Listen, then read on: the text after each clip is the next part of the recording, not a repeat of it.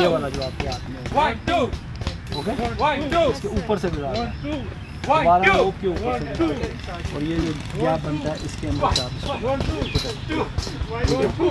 और ये आपकी इसको कहते हैं क्लो हिच क्या कहते हैं?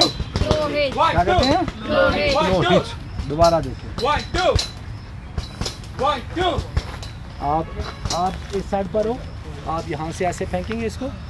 फेंक दिया? फिर उसके बाद आपने लेफ़्ट हैंड से इसको पकड़ के ऊपर से गुजारना है इसके इस रोप के ऊपर से और ये जो गैप बन रहा है इसकी लूप बन रही है। यहाँ से इसको आगे से पकड़ना है। ये- ये आपका इसको कहते हैं ग्लो हिच क्या कहते हैं उस दिन जो आपने सीखी थी उसको कहते हैं